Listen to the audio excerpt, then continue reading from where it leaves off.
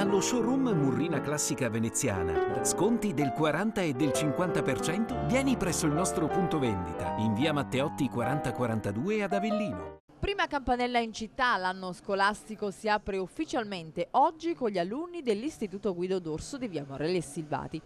Alle 8.05 la prima campanella del 2017-2018 che richiama i ragazzi del primo anno a occupare i propri banchi.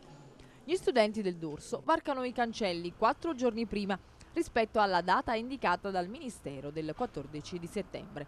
Due ore dopo, alle 10.05, entrano nell'istituto il resto delle classi. Domani tocca al Mancini di Via dei Concili, con orario ridotto fino a sabato. Mercoledì è il turno dei vari licei classici, il Colletta di Via Scandone e il Virgilio Marone di Via Toro Cappuccini. Giovedì tutti gli altri istituti che si sono allineati alla data del Dicastero dell'Istruzione. Nessun doppio turno, nonostante i valzer delle scuole, garantito dal dirigente provinciale scolastico Rosagrano. Ad Avellino, dopo la scuola media Cocchia e il liceo artistico De Luca, entrambi in via Toro Cappuccini, evacuati in corso d'opera l'anno scorso, tornata in sede la prima, trasferita definitivamente altrove l'altra. Quest'anno è stato disposto lo sgombero del plesso Scoca di via Pescatori, che ospitava 23 classi della media Perna Alighieri e 19 del liceo Imbriani.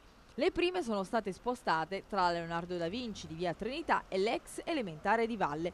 Più complicata la situazione dei licei. 14 classi hanno trovato posto nei locali di via Zigarelli, mentre solo nelle prossime ore si conoscerà il destino delle altre 5, quelle a indirizzo musicale. Trasloco anche per 10 classi dell'Ipia Matucci di via Italia verso l'ex Giorgi di via Ferrante e Itis d'Orso.